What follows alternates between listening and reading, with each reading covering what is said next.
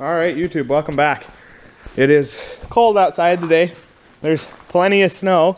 Tomorrow it's supposed to be like eight below without wind chill, so that'll be fun. But, uh, anyways, um, I d- did some riding on this old girl this morning. Uh, I went over to the in law's place and tooled around a little bit, uh, pushed some snow, and now I'm back to working on the Indy. Um, I just pulled the uh, crankcase plugs and I got, oh, I don't know, probably close to a quart of fuel out of the crankcase. So, that being said, um, on the plus side, uh, that's definitely the reason I haven't been able to get this thing to run.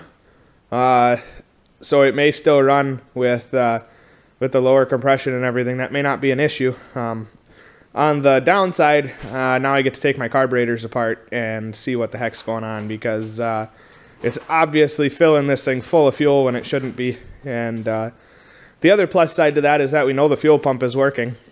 Now we know that it's sucking fuel and it's it's getting fuel to the engine. So so that's a plus, I suppose. But uh, I'm gonna go ahead and pull the carbs off now, I guess, and get to work on them. Uh, I'm hoping it's just a sticky float or something. I'm hoping I don't need a carb kit because then I gotta wait. But we'll see what happens. Uh, I checked the spark and the spark is still good on both sides. I was thinking about doing another compression test just to see if anything's changed, but it's not something that's just going to change for no reason. But uh, anyways, I'm going to get these carbs pulled off and uh, see what I can do.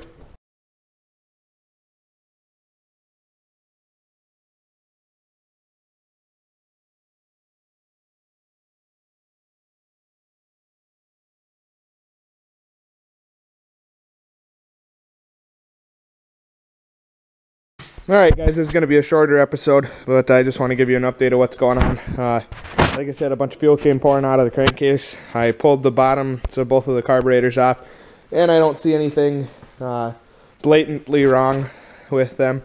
Uh, so I think what I'll probably end up doing is uh, uh, we have a Christmas tonight, and so I don't know that I'm going to get a whole lot more time to work on this here, but I think what I'm going to do is I'm going to get the carburetors off and I'll take them inside and clean them up and uh, see if I can get anywhere there.